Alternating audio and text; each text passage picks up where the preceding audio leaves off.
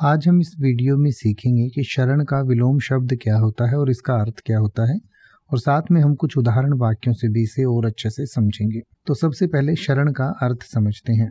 शरण का अर्थ होता है आश्रय, सुरक्षा, सहारा या जो आश्रय या सुरक्षा प्रदान करता है। यानी कि मान लीजिए, बहुत तेज आप कहीं जंगल में घूमने गए हैं और बहुत तेज बारिश हो जाती है तो आप किसी पेड़ की जो है शरण लेते हैं या किसी गुफा में रुक जाते हैं थोड़ी देर के लिए तो उसको शरण लेना कहते हैं, यानी कि जहाँ हमें आश्रय मिलता है, सुरक्षा मिलती है।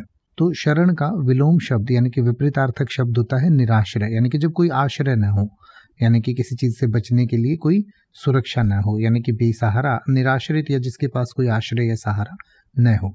तो आइए अब हम शरण और निराश्रय को कुछ उदाहरण वाक्यों से समझें। जैसे कि आप ये कह सकते हैं कि शरण प्राप्त करने के बाद उसे राहत और सुरक्षा का अनुभव हुआ। या फिर आप कह सकते हैं निराश्रय स्थिति में रहने के कारण उसे लगातार असुरक्षा और कठिनाइयों का सामना करना पड़ा।